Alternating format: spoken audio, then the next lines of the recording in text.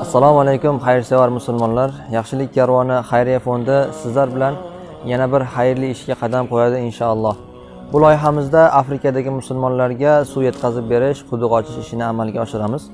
Afrikadagi musulmonlar yomg'irlar natijasida to'planib qolgan layqa suvlarni iste'mol qilishadi. Biz u suvlardan hattoki o'zimizni moshinamizni ham yuvmaymiz ular o'sha layqa suvlarni ichishlik uchun o'sha layqa suvlarni olib kelishlik uchun kilometrlarcha masofalarni piyoda bosib o'tib olib kelishadi. Natijada iste'mol qilib kasal bo'lib hattoki vafot etishyapti. Rasululloh sollallohu alayhi vasallam hadisda aytadi bir fohisha ayol itga rahmi kelib quduqdan oyoq kiyimi bilan suv olib berganligi uni jannatga kirishligiga sabab bo'ldi. Alloh taolo uni gunohlarini kechirib jannatga kirgazdi. Endi u ayol fohisha ayol edi. Sizlar bizlar mo'min musulmonlarmiz. Shu qilgan ishimiz sababli alloh taolo bizni ham jannatga kirgazishligini bizni ham gunohlarimizni kechirishligini allohdan umid qilamiz.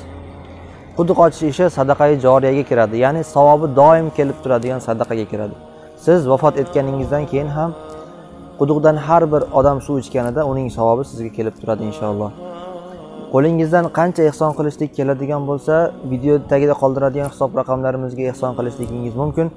Qo'lida puli bo'ladigan akalarimiz imkoniyati bo'ladigan akalarimiz bizga aloqaga chiqishlarini iltimos qilamiz. Ota onalarini nomlariga qarindosh urug'larini nomlariga o'zlarini nomlariga quduqlar ochib beramiz inshaalloh.